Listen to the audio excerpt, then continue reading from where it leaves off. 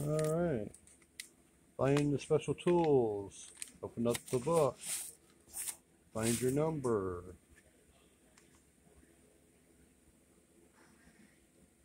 back here?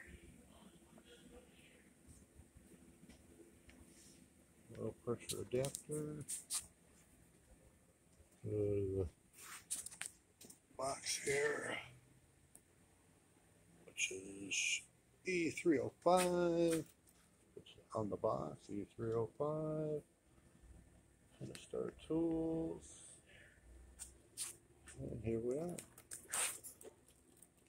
Screw your gauge on there on your hose in place of the other fill, oil filter cap. And while it's running, you watch your oil pressure.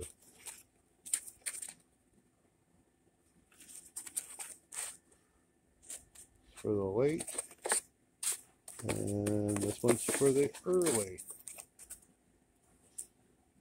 Two different caps, same kind of star. Any tool you need. Look at the number, gives you the location. Go to the location, pull it out of the box.